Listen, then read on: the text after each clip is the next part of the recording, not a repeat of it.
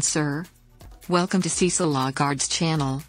Please comment, like, subscribe and don't forget to hit that bell notification so you don't miss any new videos uploaded daily. Thank you for watching. Okay, hello hello sa inyo. Hello po. Um, thank you. Nandito kayo sa aking YouTube channel. Uh, ako pala si Cecil Lagarde. And nandito kayo dahil gusto nyo pong matuto itong uh, i-share ko sa inyo. Uh, I'm pretty sure po na marunong kayo nito at the end of this video. So, please keep watching and stay with me. Okay? So, okay. Uh, okay, so ito po yung aking ituturo sa inyo. How to transcribe faster using free speech to text software. So, uh, sa mga estudyante, teachers, or yung nasa yung mga uh, office staff, uh, ito po ay para sa inyo dahil uh, syempre po kailangan pa natin mag-type, kailangan pa natin mag-encode, sobrang uh, sobrang tagal, 'di ba? Hindi po tayo um, fast typer, 'di ba? So dito po uh, mag-speech ka lang, uh, si AI na ang bahala sa iyo or si speech notes po ang bahala sa inyo. Okay, so here we go. Uh, itong website na to is uh, speechnotes.co. Ta-type nyo po ito sa inyong browser. Then, of course, before uh, we're going to start, uh, huwag nyo pong kalimutan na mag-like and subscribe sa aking channel. Thank you for watching po and please stay with me at huwag po kayong umalis. Ayan, dahil napaka-importante ito, lalo na po sa mga estudyante. Okay, let's go! I will bring you to my website. Okay, so as you can see on my screen, nandito tayo sa aking website. So, ito po yung first, uh, I mean, homepage niya. Okay, as you can see here, ang dami sa baba. So, wag na po yung nasa baba. Uh, sa taas na lang po. Ayan. Dahil, uh, ito naman po yung scroll up natin ulit. Okay. Then, type nyo po yung uh, speechnotes.co. Once nandoon na kayo sa, uh, once na na-type nyo po sa browser, ayan, syempre po, uh, they were not asking you to sign up. Automatic po siya mag-a-appear. Ganito na po siya sa, no, no need na siya ng uh, mag, uh, mag-log uh, or need ng email, Facebook account, or Gmail account. Wala na po siya. Hindi na siya kailangan. Okay? So, kaya yan po yung pinaka-advantage. And now, yung pong mga ma, mabagal po mag-type, sobrang napakabagal, syempre parang uh, naubos na yung oras mo, hindi ka patapos sa iyong pagta-type. And now, only si speechnotes.co ang magbahala sa inyo.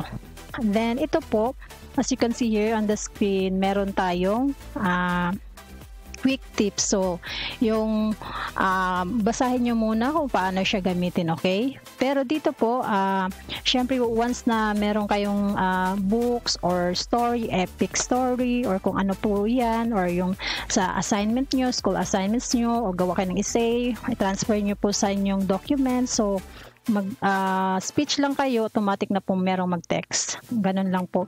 Then kailangan uh, dito po sa uh, follow lang kayo sa aking cursor kasi ito po as you can see here sa right side. So meron dito, you can say period at magpi-period yan. If you're say comma, magka-comma yan. Then if you're going to say question mark, magko-question mark yan. Then colon, magko-colon yan. So, lahat po dito sa baba, pag sinabi mo, gagawin naman ni um, speech note. So kung kahit anong request mo, kahit anong pinagsasabi mo, even sa Tagalog, nandito po, ayan. Sobrang napakaswerte po ninyo if na-open nyo po ito dahil ito ay sobrang nakakatulong po lalo na sa mga estudyante. At saka take note po, um, this is for beginners, okay? So kung professional or di kayo expert na po kayo, lalo na po sa mga transcribers, di ba? alam ko po ito yung ginagamit nyo dahil syempre po sa ibang website yung mga pinaggagawa natin yung work online di ba? They were asking us to have this uh, speed typing. So sobrang fast or fast typer tayo di ba? Ang kailangan lang natin dito ita-type natin yung words or yung documents nila.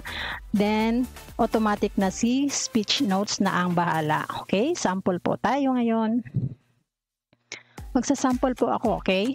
Anong gusto nyo, Tagalog or Bisaya or English. Pero dito po, as you can see here, dito po sa taas, itong merong optional language. Um, Paalala lang po, this is for major language. Ayan. Uh, iba't ibang uh, iba't ibang uh, language po. Major language at saka uh, meron po akong ibibigay sa inyo na meron po tayong Filipino language. Ayan.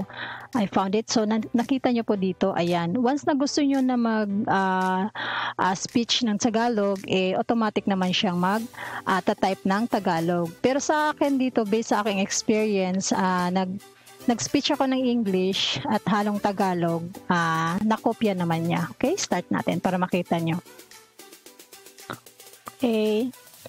Type nyo lang, ah, I mean, ito, click nyo lang po tong button na to na speaker. Mag-start na po kayo mag-speak.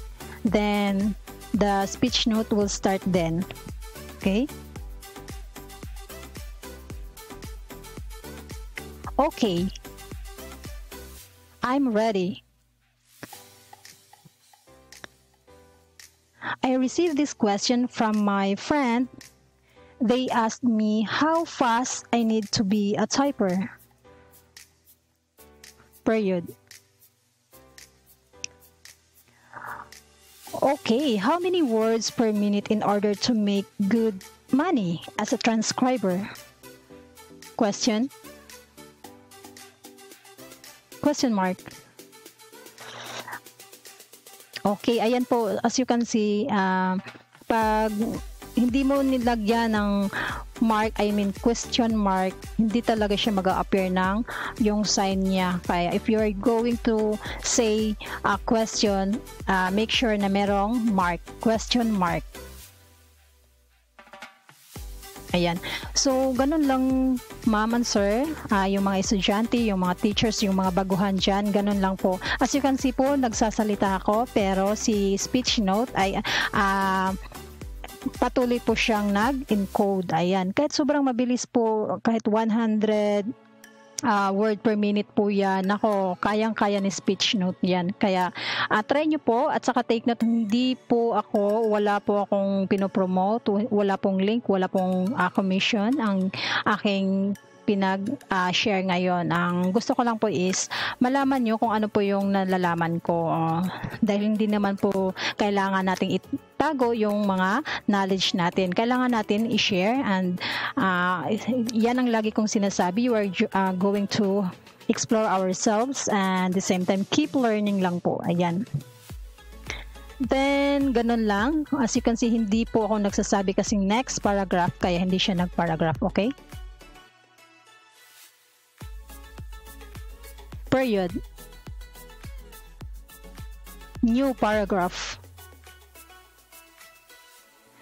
Ayan po, 'di ba nakuha niya yung mga pinagsasabi ko kung ano po yung mga kahit ganito po yung tutorial ko, kung ano po yung pinagsasabi ko, kung ano yung halimbawa meron tayong uh, nag-read tayo ng book, then you are going to transfer it into your uh, Microsoft Word or sa uh, doon sa Word nyo, automatic po si speech notes ay uh, very friendly po siya. Uh, automatic niyang i-encode lahat yan, kahit ano pa yan. Period. Okay, ganun lang po, ma'am and sir. Uh, basic lang po ang ituturo ko sa inyo. So, that's it for today.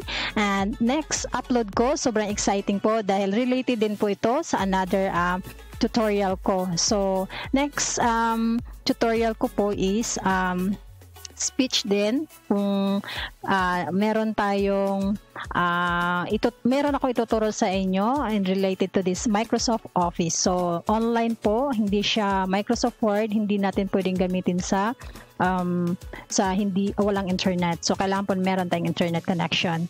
Tuturo ko ito sa inyo next upload ko. Okay? Thank you for watching. And sobrang thankful po ako dahil at least hindi kayo umalis kahit saglit lang, okay? So, ayan, kahit po nagsasalita ako ngayon, uh, hindi ko pa siya na-stop. Hindi ko pa yun na-pause. Ayan, kahit po ibang website or kahit anong ibang uh, browser po ako pupunta, si speech notes ay sinusundan ako. Ayan balik po ako dito sa, yan. So as you can see here, patuloy pa rin siya. So I'm going to stop this one period.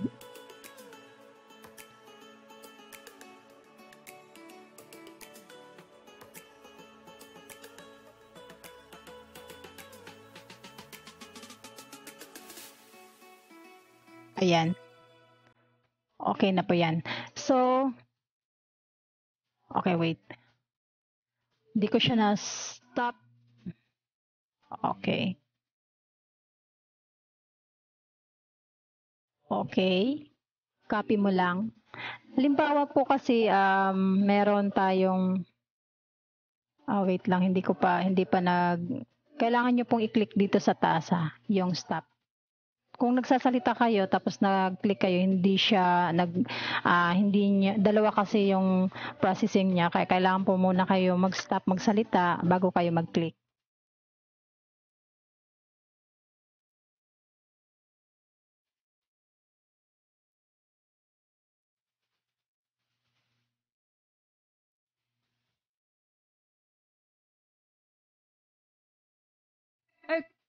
Okay, I'm ready. I received this question from my friend. They asked me how fast I need to be a tiger. Okay, how many words per minute in order to make good money as a transcriber question? Okay, I am full as you can see a pug hindi moni lagian ng mark I mean. Angla Yong Senior High if you are going to say a question, make sure na marong mark. I am so ganon lang naman sir yung mo ng estudiante baguhan sa yang ganon lang po kasi kasi po nagsasalita ako pero si speech note asir ang naging kotayan ko sobrang mabilis po kahit 100 word per minute. Slang. Ipo ayan ako kayang kaya ni speech note diyan kaya ni yo po at sakatakan Ayan. So, ganun po yung boses niya pag nagtatranscribe po si speech notes. Ayan. ito kasi ay isang software or robot. Ito yung napakagandang website or platform na pwede natin gamitin, uh, lalo na sa mga estudyante dyan. So, um, please try dahil sobrang uh, easy lang ito. I'm pretty sure na gustong gusto nyo to i-try. Kaya, uh, open nyo lang po sa browser nyo itong speech notes at mag-try na kayong mag-explore, okay?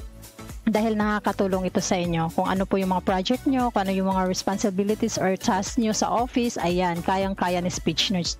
Speech notes yan in related to the typing speed or kung ano po yung mga dictation dyan. So, meron tayong uh, dictation process dito. Ganito lang po kabilis. So, ganun lang. Thank you po. At Of course, uh, meron muna akong isa shoutout. Ayan, nag, uh, nagre-request po kasi mag-shoutout yung friend ko And then, ito lang muna. Sana meron kayong natutunan. And of course, uh, okay, meron po akong kunting bonus. Papakita ko sa inyo kung paano siya i-copy. Ganun lang po. Copy mo lang yan. Copy text to clipboard. So, punta tayo sa ating documents. Okay. Once na na-copy mo yan, then control uh, V lang. Control V. Then, nasa documents mo na yan. Okay? Ah. Erase ko lang muna to. Okay, yung nakopy natin kanina eh, is i-control V mo lang lahat. So lahat ng mga sinabi mo, every time na nag-dictate po kayo, of course, si speech notes ay nagta-type. So kung kahit gaano kabilis, uh, 'di ba meron naman po tayong um um, mga typers na sobrang ang bilis, 120 uh, uh, word per minute po sila. Kaya hindi natin kaya yan sa akin. Sa part ko po kasi is uh, 47 uh, WPM uh, lang ako or word per minute. So 47 uh, WPM lang po ako. And we're going back here sa ating tutorial. So pagkatapos nito, kayo na pong bahala mag uh, justify nito. Control G lang. Then meron kayong i-edit dyan, syempre, kailangan meron tayong edit-edit dyan dahil hindi naman lahat ni speech notes ay makukuha niya, lalo na po pag Tagalog, okay? Pag nagta-type kayo, I mean, kung nag-dictate kayo, nag-speech kayo, kailangan, uh, I mean, make sure po na English po yon okay? Dahil ang major language po ang kaya ni speech notes.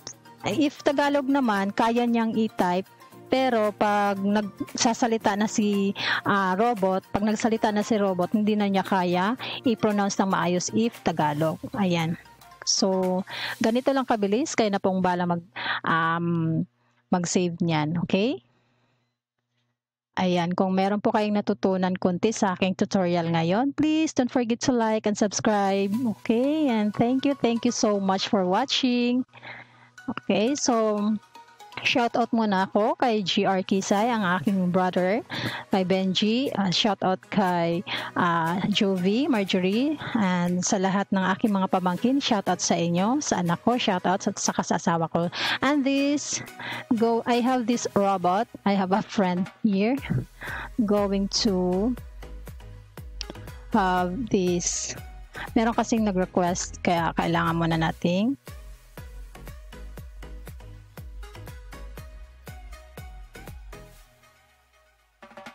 paparinig, okay?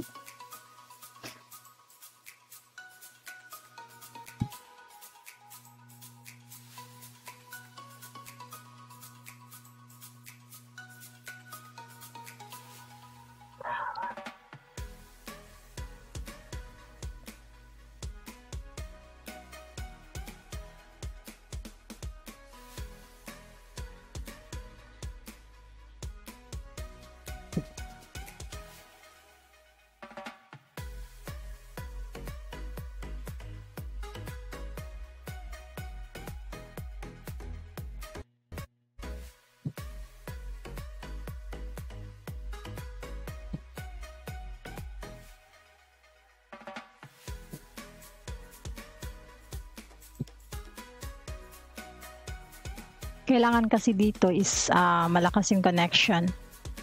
Kaya medyo ang bagal niya. May ginawa po kasi ako by using this Canva. At uh, meron akong isang um, website na nakakatulong din sa akin. Ay ito ay isang mga robot. So doon may bayad. Kaya next upload ko po, i-share ko sa inyo, okay? But for now, uh, magsi-shoutout muna ako. Uh, anyway, gawa ko po ito. Ako po yung nagdi-design nito. Okay. Shout out, shout out time. Hello, hello sa inyo.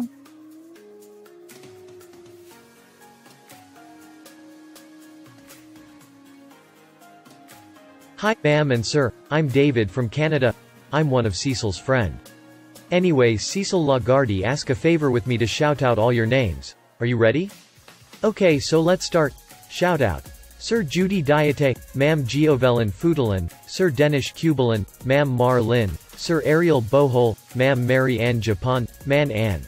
Ma'am Rochelle Allison, Ma'am Rika Lysandra, Ma'am Vanessa, Ma'am Hannah Lalamonen, Sir Joshua Alpas, Sir Dave Kahuya, Ma'am Gleese Callow, Ma'am Emmeline and Ma'am Giovanni. Okay, I think...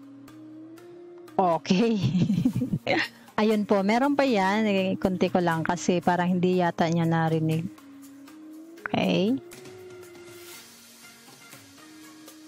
Uh, thank you pala sa nag-subscribe sa aking channel. Thank you po sa trust at naniniwala kayo sa akin. Sobrang na-appreciate ko po na nandito kayo sa aking channel, lagi kayong nakadikit sa akin, uh, sumupor, uh, sumusuporta po kayo sa akin. So, uh, huwag, nyo, uh, huwag po kayong mag-alala dahil gagawin ko po ang lahat para po may share ko po yung meron akong um, uh, nakuha din uh, mga knowledge from other or different kinds of website for my next upload. Ayan. So, thank you for watching.